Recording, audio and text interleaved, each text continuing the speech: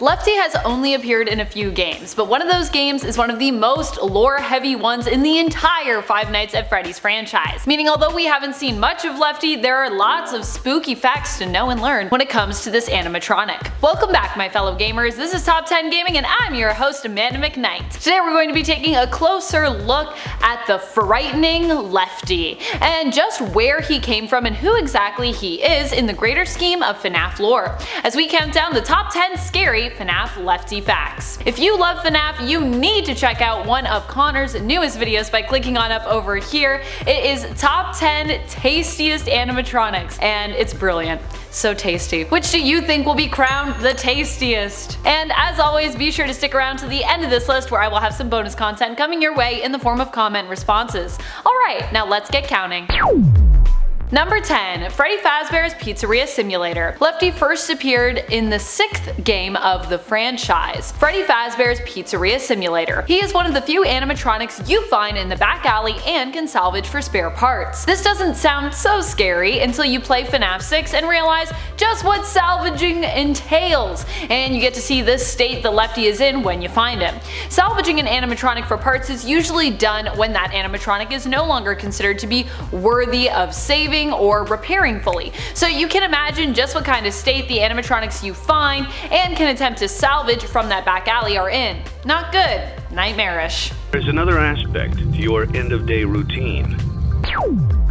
Number 9. Unknown Origins. When you find Lefty in the back alley, the Cassette Man voice recording will share that we do not know where this Lefty came from, as it does with all salvageable animatronics. So what was this messed up version of Lefty up to before it made its way to our establishment in Pizzeria Simulator? Well, Lefty is also an animatronic that you can find in the auction catalog, and has a rock star look to him implying that he might have been an animatronic from another franchise location who maybe escaped. Also, if you collect him and all of the Rockstar animatronics, you get an achievement for that saying that you put the Rockstar ones together, so you can assume he's part of the Rockstar crew. Because his first appearance however was in FNAF 6 Pizzeria Simulator, much about his past beforehand remains pretty unknown, so much of it is still relegated to theories and speculation. Although we do get a pretty good, uh, pretty good little bit of intel in this game if you can find it. Little easter egg in there. Number 8. Rockstar Freddy?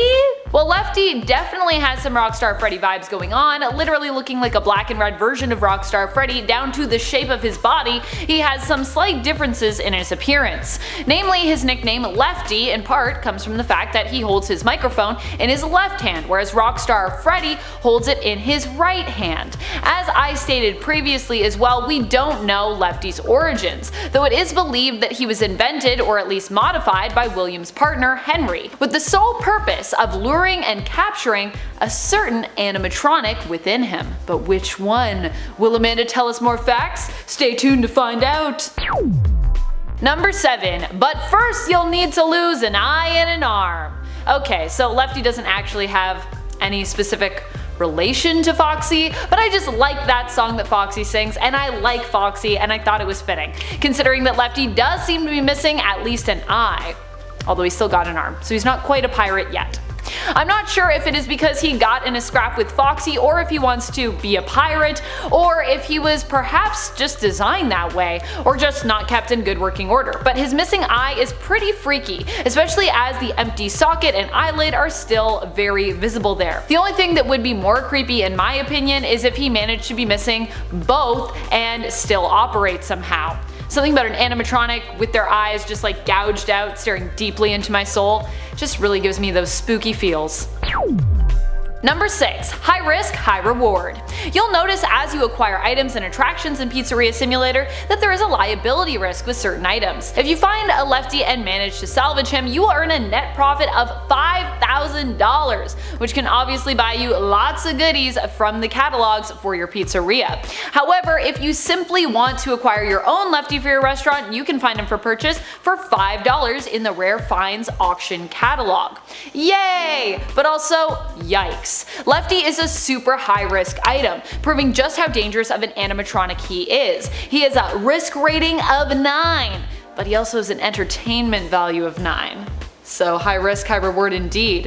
His liability risk rating gives you the impression that he increases your chance of a lawsuit, simply because he is one of the most likely animatronics I guess to attack and possibly kill customers or employees.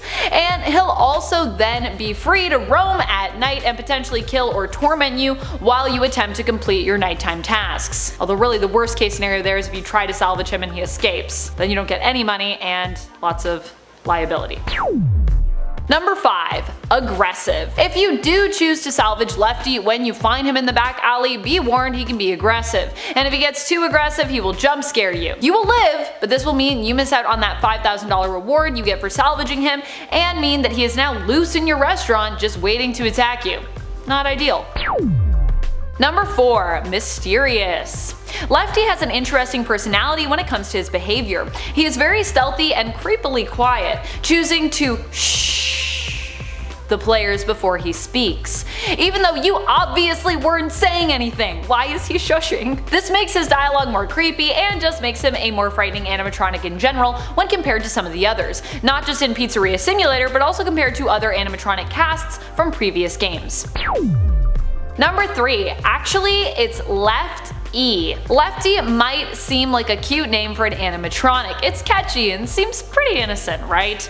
But Lefty's name isn't really that innocent when you look into it. Lefty is actually just a nickname for this shiny and fancy animatronic. His full name is actually a lot longer and doesn't have a Y at the end. Lefty is actually Left E with an E at the end. Or really, if we were saying it how it was spelt, left, which is a lot less exciting and isn't actually a complete name for him. As I said, it's a lot longer than you think because Lefty is actually an acronym for Lure, Encapsulate, Fuse, Transport, and Extract. The acronym of course was used to create the nickname Lefty, which is much less suspicious and scary sounding. We find out the truth behind Lefty's name in the blueprints that can be found if you manage to unlock them on the computer in your office.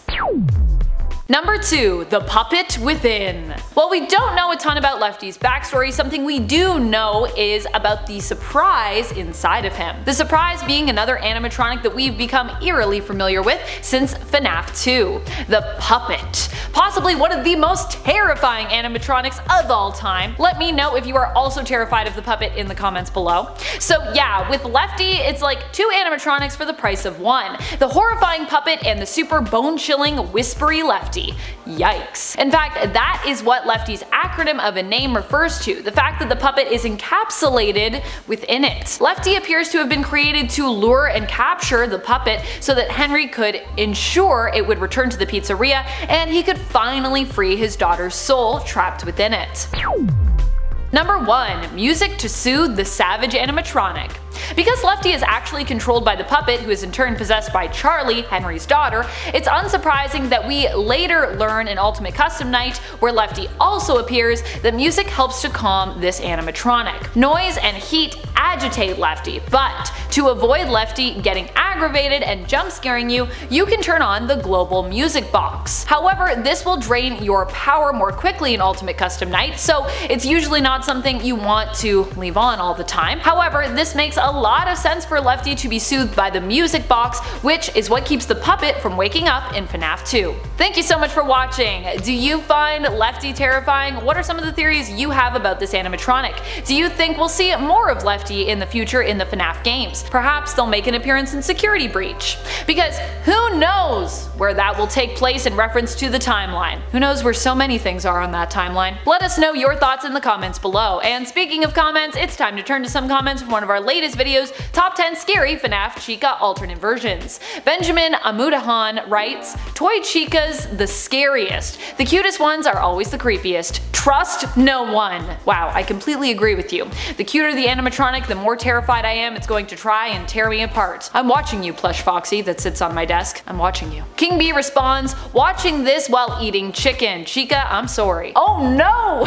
as long as you don't do that in front of Chica, I feel like she would not like that very much. She might hold it against you. Purple Guy William asks, Is it bad that anytime I hear the name Susie I think of FNAF and specifically Chica? It's not bad per se, but it might mean you're playing too much FNAF or you simply don't personally know many Susies. Because if you did, I feel like you would associate the name Susie with them and not with Chica. And that's all the time we have for comments today. Be sure to comment below for a chance to have your thoughts and feels shouted out in a future video. This has been Top 10 Gaming and I'm your host Amanda McKnight reminding you to keep on gaming on. Pew pew!